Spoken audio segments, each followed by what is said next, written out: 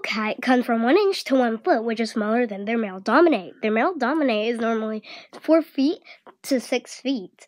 They mostly come from alleyways, streets, bedrooms, and basements.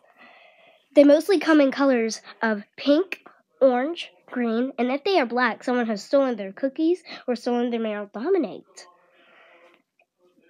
And boy OwO cats are more common than female cats.